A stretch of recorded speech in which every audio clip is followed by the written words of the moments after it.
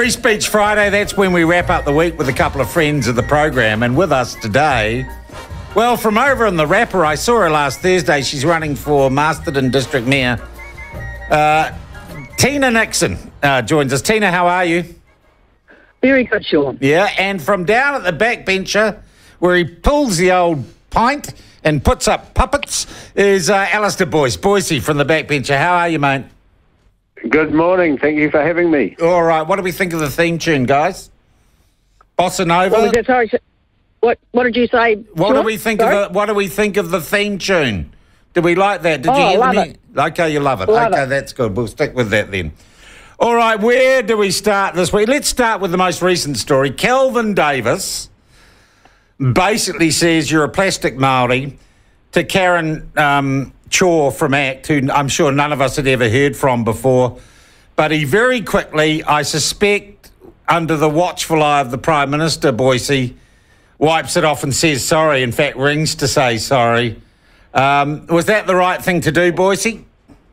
Ah, it was absolutely the right thing to do. I mean, this is sort of a symptom and manifestation of um, some sort of empowerment of a separatist uh, agenda. So you, you've now got um, leading figures and institutions here, um, as per Tamihere and, and the Maori Party um, racism in their website, um, coming out. Um, to uh, dominate the agenda in their own words. So we- we're getting two forms of um, society going on, um, and it, it's become inverted racism. Uh, Tina, what I liked about this was that uh, Karen uh, Chhour accepted the apology and says, let's get back to the issues. That's bloody rare in politics. Yeah, it is, and I, you know, and uh, uh, Willie Jackson's ha- um, been guilty of doing the same sort of thing too years ago, um, with Mike Roberts and uh, Miriama Kamo, when he basically said because they were in white broadcasting, uh, Pākehā broadcasting system, they weren't very good Maori. Um, and and it, and, and, and um, Boycey's right. I mean, the reality is, is we've got this sort of elitist brown um, upper class, and uh, fueled by their their supposed um, expertise around te reo, uh, Yeah. see anyone else who uh, doesn't have those uh, degrees of expertise as lesser beings. Um, and I suffer from a bit, bit of that too. We Because you got to, yeah, I mean, you're, you're part Maori, Tina, but you don't exactly, Yeah. I mean, you don't go around, you know, wearing it on your sleeve No. or making a big deal No, of I it. don't.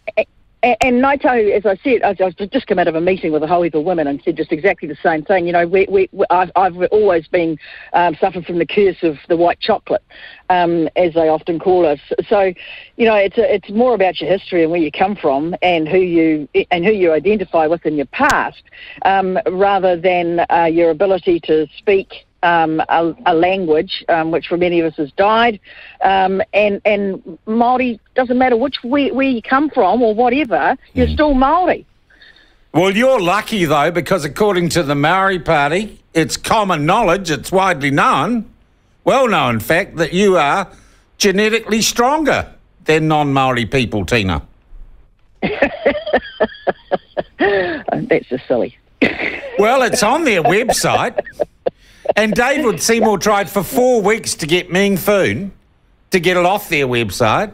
Finally, he Yeah. admits to me yesterday on air, live on air, a story so good that Jenna Lynch from Newshub stole the quote, um, a- a- and says they should take it down. They haven't taken it down this morning, Tina. Um, No, that's disgusting. They should take it down. That's just really that's just divisive politics. Yeah. and we're seeing too much of that. And it brings me back to the one central issue at the moment that I don't think this country has come to grips with, which is Te Mana o Te Wai, which is the statement around water, which sanctifies water. And only Māori get to decide how it's implemented. We have no other thing, legislative framework or regulation or anything in New Zealand that only allows one party a decision. has that uh, already been passed into law? others. Is that already law? It has, yeah, absolutely. And now even Māori are struggling to work out how they're going to do this. Um, but basically, any any source water in the whole of New Zealand has to be decided, Check and how it's going to be used has to be decided by my Māori. Māori. Yeah, okay. Um, one of you's got some incoming phone too. Tina, that is incredibly concerning. Boycey, I did look at this thing from the Maori Party, and aren't they just uh, chest thumping? Oh, it's Boy. But you there, Boycey? Yeah, I'm back. No, Yeah, yeah, okay. All right. I look at this thing from the Maori Party. The statement is, you know, it's common knowledge, or everyone knows that Maori are genetically stronger. Surely they're just taking the mickey and they're trying to get a rise out of all the honkies, aren't they? I don't know. I, I think this empowerment thing um, and this separatist thing and this elitist thing is um, really dangerous. I see a lot of division um, in our society at the moment. Um, and I, I get out there and about, as you know, Sean, I'm happy to talk to anyone, including, you know, unvaccinated protesters, for God's sake. Um, and I, I, when, when we speak for Maori, I mean, I, find most of Maori is in mainstream New Zealand. And um, so we've got an elite that um, purport to represent all of Maori. Um, and I think Maori are more adequately represented in mainstream New Zealand, and that's where they actually want to be.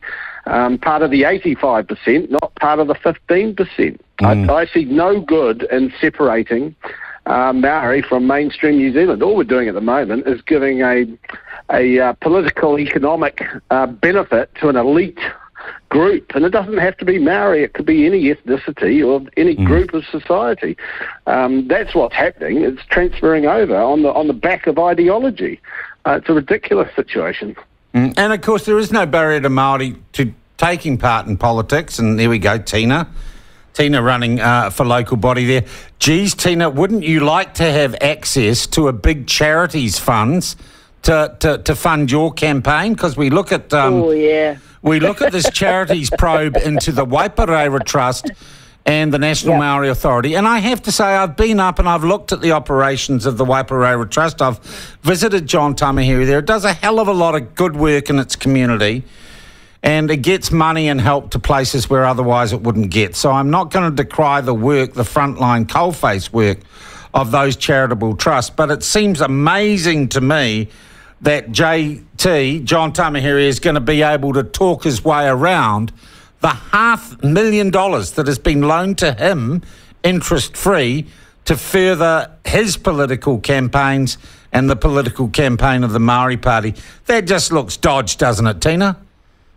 It looks really, it does look incredibly dodge, and um, I would be very surprised if he's going to get over this one. Um, I think it's pretty, it's a clear, clear cut case. Basically, you're not allowed to use charity money like that for political purposes. So he's he's in the he's in the shit basically, um, and and. I've never been a mate of John's.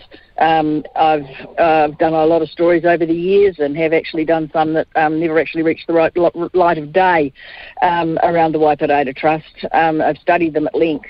And yep, I think the people that do the coalface work are absolutely fantastic. Um, but, you know, I just, I, I, I struggle with trust issues with JT. All right. Okay. What do you think, Boycey? I mean, we deregister Greenpeace, uh, Family First, because they get involved even tangentially in political issues. Do you think John Tamihere gets away with using charitable money to fund political movements? Well, we can't let that happen. We we have this um, uh, massive increase of state uh, and this massive squeeze, especially on small business in New Zealand. And uh, these finances that get meted out um, have really got to be for purpose. Uh, you, you can't have them being diluted out further because someone's got hold of the money and then they treat it like their own. Um, uh, it's incredibly he's got no, dangerous. he's got no, mor- yeah, he's got no bloody moral fibre. Frankly, I mean, he's using it No. to get a job. What's the what's the, what's the MP get today about bloody near two hundred thousand? Yeah. Imagine how much two hundred thousand dollars will buy lunches for kids. For kids. Yeah, and we look we look at the Maori Party. class. We look at the Maori Party, and it's very much a family affair. So, um, Ra- Rawiri Waititi is John Tamihere's son-in-law, Yep. right? So it's all a family business almost, and the loan goes to him. Yeah, I, I agree. And look, the interesting thing I found, guys, is normally I would ring JT and I'd get through to him. We might have a conversation on the phone. Yesterday, terse texts that say, listen to Wātea News, I don't need your radio station or whatever. And, and I text back, say, oh, well, I didn't ask you if you needed my radio station. I want you to answer some questions. But he's pretty well shut up shop which indicates to me there might be some real, real pressure here. Um, yeah, yeah. Good. Yeah. okay. Hey, let's talk local body elections. Oh my God, I'm going to be so glad when they're over. To be honest, you dragged my Well, I'm ass. absolutely, I'm absolutely, I'm absolutely delighted that Paul Eagle has, has ripped off my election campaign imagery, and is now is now is now doing um, sort of a Harry Potter type thing where he's going to fix the pipes and Oh, stuff. yeah, yeah, I've based seen on that. My, uh, Yeah. Based on my imagery of let's let's do something different and and and something you know. Well, I, what I love most in Wellington this week, and we had Andy Foster on for a debate of one because the other two, uh, Tory Whanau and, and Paul Eagle wouldn't front up, so I just had Andy in the studio on his own. Um, Yeah. But Tory Whanau finally gets endorsed by the Green Party, where she sat like three feet from me here in the studio. So, oh, no, no, I'm not a Green person. That's just, oh, I'm independent. Oh, it's all such a load of todge, isn't it, really? Yeah. Yeah. Um, but look, look, the one thing is, even if you win, um, Tina, the mayoralty, even if you win, isn't it going to be a rather Pyrrhic victory? Because, I mean, the turnout rates are just so, so pathetic oh, it- it- because of the postal voting. And I asked the young people in the office, my young dynamic staff members, I said, I haven't, well, I made the observation, I haven't posted a letter this century. And they Yeah. were kind of like, what's a letter? What's a yeah, mailbox? I know, and it's it's tragic, and and if you don't post it early enough, it's not going to count anyway. Um, and and with the voting figures are, are lower than last time, um, so you know we're really struggling with this, and it's and pe- and people are not connecting. They're still really angry post COVID, and they don't get local government. And anyway, local government's likely to change because the future of local government's going to be unveiled uh, at the end of October. God only knows what that's going to look like. If it's anything like Three Waters, it'll be a ship ship storm. yeah. Um, so, you know, it's, it's a hard battle to go into, and at the end of the day, it's a very good battle to be in because it's around local democracy and giving people a say. But the reality is, is they're actually really divorced from it anyway. Mm. So it, it, it's not just local government that is is is broken at the moment. It's actually society is a bit poked as well. Mm. Um, and I can't. I, I uh, I'm struggling just in terms of where we're heading, um, and people are just literally, I think, doing just day by day um, because of the uncertainty of, of, of the lives that we're all leading. Um, so it's not a it's not a good place, but you just got to keep on trucking and fight the good fight. Boycey, is it sending you rigid with boredom or excitement, local body politics? Oh, I've got, I've got a couple of points here that I think um, are quite important. Um, the first one is um, a group called Better Wellington came out endorsing candidates, and I thought they did a very good job of it. They were immediately cancelled by Stuff, accusing them of being anti-vaxxers or something. Uh, but they've, they've come out, they're independent people, and they've um, highlighted independent people who um, can do a good job, um, especially in regard to Wellington's got a real crisis with um, its CBD and the uh, greenways, walkways, cycleways, and now a 30 kilometre zone. The small businesses are just getting squeezed out, and we're getting a rotated um, ghettos. So we need the ideology taken out of the people who need to fix the pipes and the water.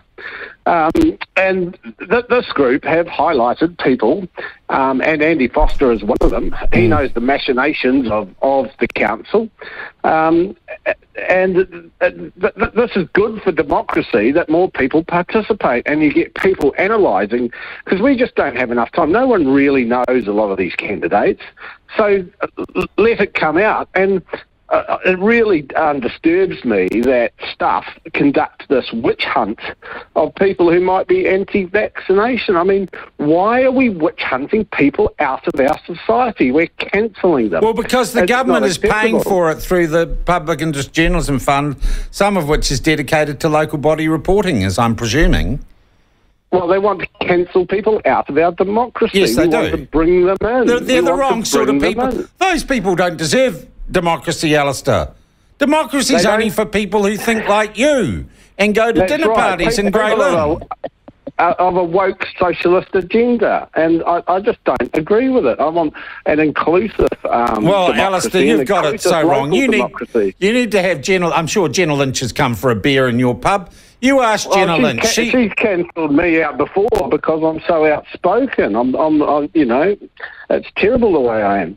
Now, a, a second point I've got to make. Um, um, I've organised with some local uh, small business operators a meeting um, of hospo and small business um, just to discuss the concerns and to put them out there and to form something of a lobby group, especially in relation to issues like the local council ones and then the central government ones where we've got the fair pay agreement and income insurance coming on its way to hammer yeah. small business again. Um, so that's at uh, my coffee roastery, 22 Kaiwharawhara Road, 4.30 Monday. And all of you are welcome in small business and hospo. And yeah. put up your hands and shout from yeah. the rooftop. Yeah, okay, I'll send you the bill for that, boy. See, look, well, other thing. Yeah, I thought I'd get it in before you stop me. yeah, you might cancel me. um, this Aveda ad. Have you seen the controversy about this ad at Aveda? No. No. Oh, okay. Look, then I'm not gonna. I'm not gonna discuss it with you because you'll be flying blind. But you do talk about people being cancelled. Tina, someone tried to cancel me today, uh, this week. I was really upset. Um, oh, so what, how, what, what happened? Well, Jenna Lynch did a piece uh, from New, News Grub or Newshub. They they basically went and they harassed um, a sister of one of the Christchurch victims. Yeah. I presume told them a whole lot of lies about something I'd said online, and then went round asking politicians if they'd ever come on the platform again because I was such a bad person.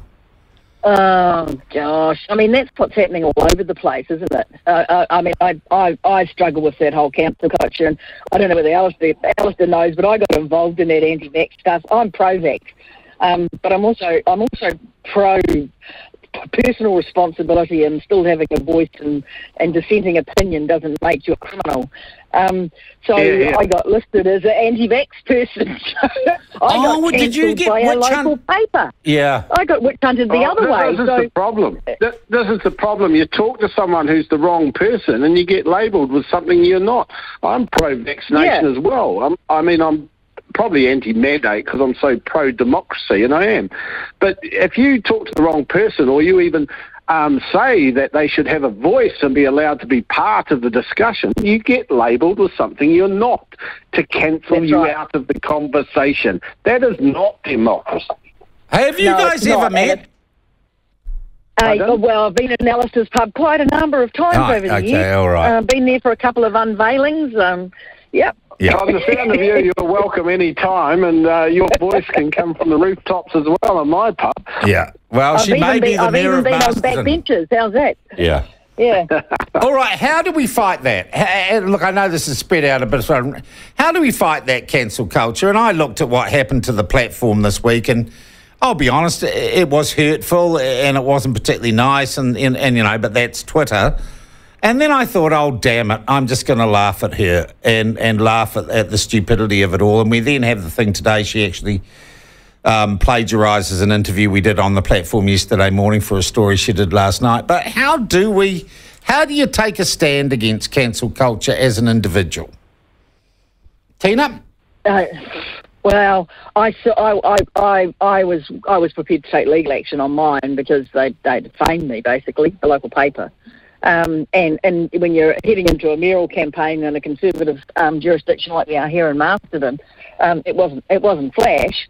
Um, there's not a lot actually, um, and that's my problem at the moment. It's the most powerless I feel is against the, the wokeism and the cancel culture because I honestly can't see a way through it apart from when you uh, is fighting back, and you've got to keep fighting back.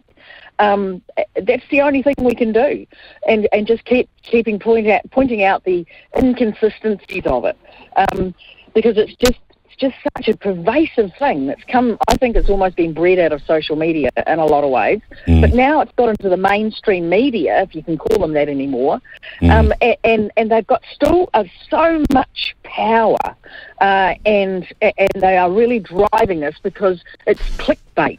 It's it's like socially concerning clickbait, but that's still what it is. Yeah. It's it's just awful. Yeah, well, part of the platform is to counter that. That is one of the re- very reasons that we exist. Boycey, how do you suggest we fight cancel culture and the fact that it has now permeated uh, mainstream or legacy news media? We've got to be very vigilant, very smart, um, support entities like your own, uh, being the platform. I think it made a huge difference to the debate. Uh, you've certainly allowed the opposition a voice, which they needed.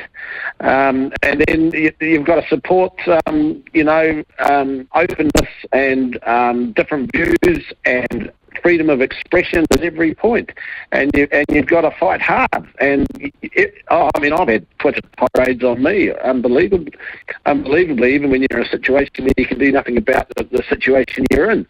Um, so it's just keeping up the good fight. Um, and mobilising people and allowing them the voice. So the, the process that I'm in at the moment with liaising with, with my business community um, suddenly the feedback starts coming in. They're too, too scared to put their head above the parapet. Well, unfortunately, that's why you need people like me and people like you and people like Tina.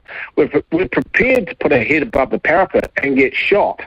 But behind us is a huge mass of people who haven't got a voice. So we have to give them the voice. It's the unheard of New Zealand. And I, I still believe it's the majority of, of New Zealand and they're not fully aware of this culture, this pervading culture that's overtaken them. Um, and it's to keep uh, one narrative as the predominant narrative um, and to, to keep the rest. But the, the end result of it will be a very divisive New Zealand. So we've got to fight that and pull our, our democracy back together. I hear you. I and hear I also really, I also really worry about our young people because what's happening with cancel culture so is you, as you just basically that's it, your life ends, and and you have this huge hurdle. It's almost like a, a virtual prison in a way. You, you you put people on an island and cast them off, and we've lost the understanding of redemption, and we've lost the understanding of atonement. So if there is something you've done wrong, um, there's got to be a way back. But cancel culture never gives you a way back. Um, and, and, and that's not that's not a fundamental value that we should have in society. We need to hold fast to giving people redemption and atonement, and we must always allow our society to be underpinned by a clear value of being respectful around people's decision, uh, d- d- yeah. opinions, and that's, no matter what they Tina, are. that takes us Absolutely. back in some ways to the start, and that is the, you know, the Karen uh, Chhour thing she accepted the apology. She said, let's move on. I just think that was a great exactly. example of how a civilized yep. society can disagree with itself. Um, have it's quite emotive uh, fallings out, but you bloody well yep. move on. And I would say the other thing, given my experiences this week, which include people on saying on Twitter I should be fed alive into a wood chipper. Um, I just yeah, say, watching that. What's that great Fargo? They've been watching Bring Fargo. Yeah, and I just say, I just say, screw you. I'm still here, and I'm not yeah, going to be bullied you. into changing my view. I'm happy to change my mind if you come up with a better argument. Um, but yeah. uh, I am not going to live on my knees. And I think that's what we've all got to do, which is why it's been so nice having you both uh, here for uh, Free Speech Fridays. We will do this again. Uh, and we much must catch up at Boycey's next time you're in town, Tina. Good luck with the election. Absolutely. That might sound like a good lunch lunch place. Oh, there might be some Merrill visit from Masterton. yeah. Uh, and Boise, good luck with your meeting, which got way more yeah. uh, free publicity than I intended it uh, to do on the program today. Well, I, I wasn't going to tell you about it. You might have cancelled me. Alistair Boyce and Tina Nixon, our Free Speech Friday uh, uh, proponents.